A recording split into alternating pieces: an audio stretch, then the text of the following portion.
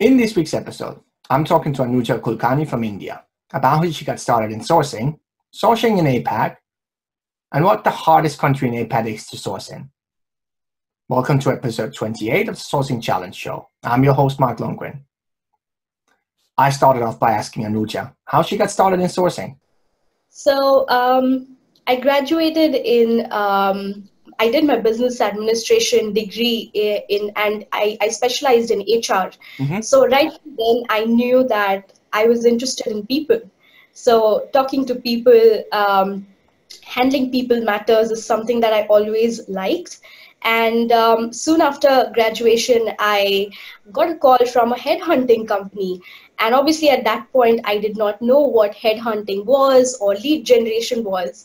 But um, it, it was a very initial stage of my career so i it, it sounded very interesting for me for sure so I think I spent about three and a half years uh, being a research analyst, uh, generating leads, doing headhunting in the APAC market. Mm-hmm. Uh, I focused on Japan, right from pharma to legal to manufacturing, IT. I enjoyed working across all the sectors and of course, uh, during my graduation, I was learning Japanese as well. So it was fun at times to speak um, in Japanese and generating leads. It did give yeah. me a little bit of success for sure.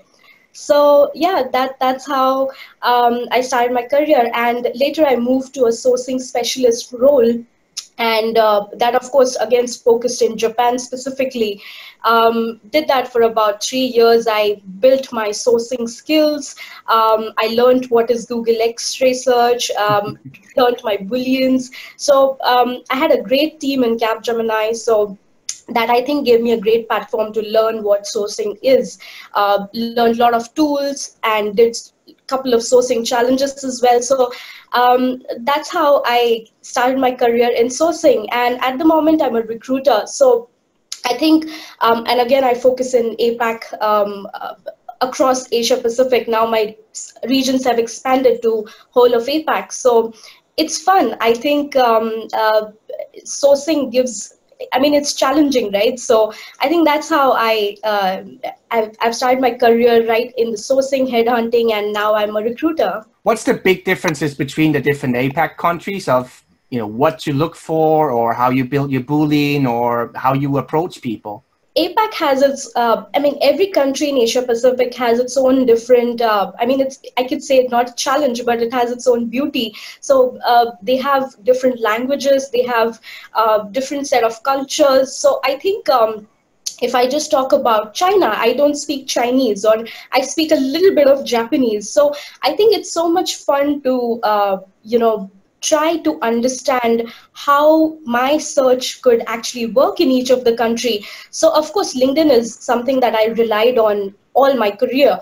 But um, there could be other tools like um, you know if i have to connect with people in china i would always look i will always rely on wechat. Mm-hmm. if i have to connect with people in japan i would you know connect with them via line. So i think there are different tools instead of the typical sourcing tools, I think I, I rely on uh, the, I mean, the social media more. So, um, because it's easier to connect. And I think no Boolean searches, no specific Boolean search would actually run, I mean, successful in APAC because you never know the candidate might have written a CV in Chinese. Mm-hmm. So either to have you can seek help from a local um, partner there and get it converted get it translated um, in chinese or a local other language korean or japanese or thai.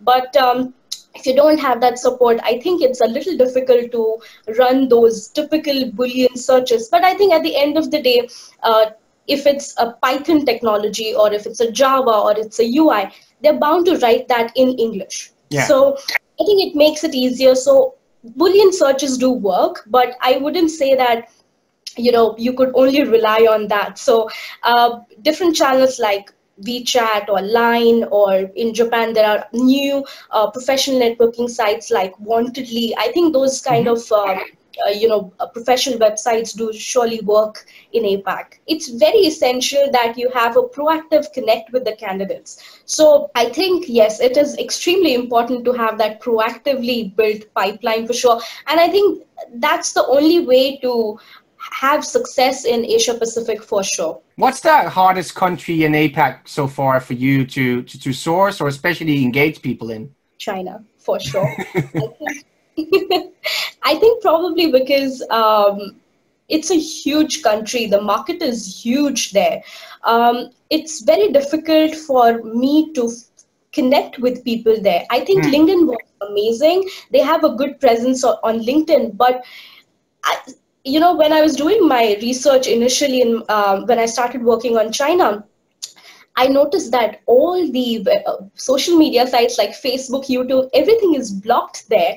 So obviously they have their own government restrictions. So mm-hmm. um, I kept wondering what works there. So that's how I actually came down to a conclusion that I mean through my research, I just found out that it WeChat works there or Weibo works there. That's like the micro blogging, blogging site that they have, or Renren works there.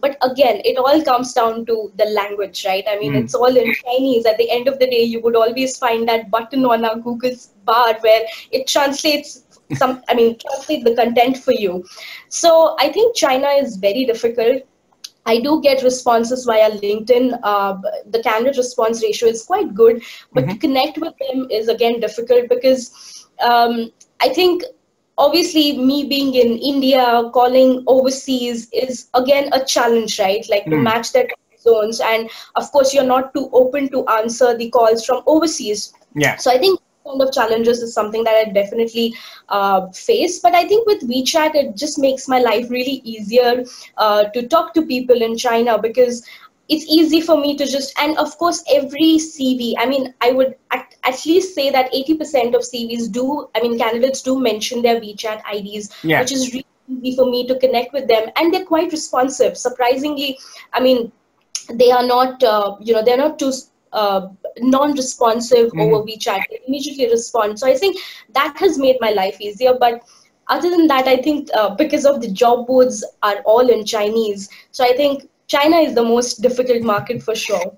What about Japan? Because that's always been one of those countries where just the culture of changing jobs or even talking about changing jobs and that's always been it's an enigma for a lot of like european and american recruiters and sourcers what's been you know what's been your tricks of how to get to talk to people or what what kind of channels they, they respond best on if i look at um, countries like japan uh, people don't switch jobs there no. it's still the traditional uh, methodology of registering yourself to um, a local agency that they rely on, like a recruiting firm. They enroll themselves, they walk up to their office, hire a consultant, and find jobs. So it's very, very difficult to convince them to switch jobs, right? Like big players like Sony, Mitsubishi, they're all Japanese giants. Yeah. And right when they graduate, I I think they have been there forever for the rest of their life. They love spending time, and I think their employee retention is. I mean, they're so happy with their organizations. So I think markets like these definitely it's very difficult to convince um, uh, you know candidates to switch jobs. You have to have a very very strong employer brand in these kind of regions. You need to talk about your culture. You need to have a very strong employer brand presence. You need to um, be very active on social media talking about uh, what is currently happening in your organization like little insights about um, any uh, accreditation one. So it could be anything, but you need to be really present, be there, uh, and talk about your organization in these kind of markets.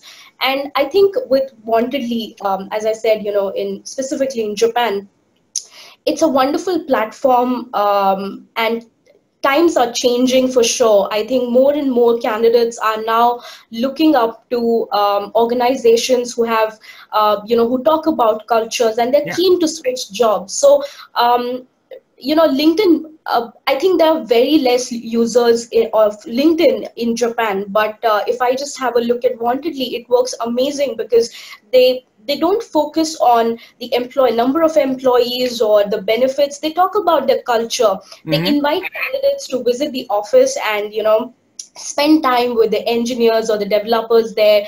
And then you know have a look and feel of uh, experience the culture there and then you can join the organization.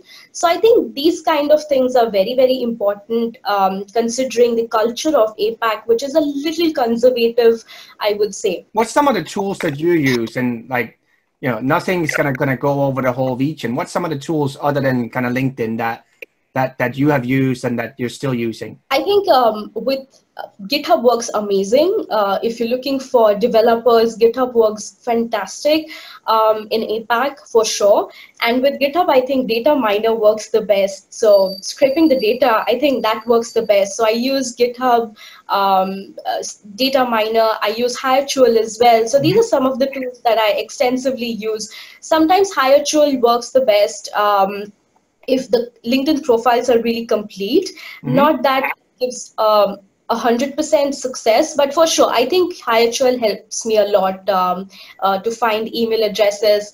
Uh, Boolean Assistant helps me as well. So I think these kind of tools definitely help me. In terms of your career as well, what were some of the places or some of the people that that you went to to learn in terms of sourcing and just when you do research on a new country like how do you go about that? The couple of things that i really look up to is um, some of the social talent videos ere um, I, I do have a look at all their youtube videos for sure. Um, i've seen a lot of uh, videos who talk about the uh, the experiences there. Mm-hmm. and uh, uh, also I I have a I also read about a lot of uh, surveys that are published by the recruiting local recruiting agencies.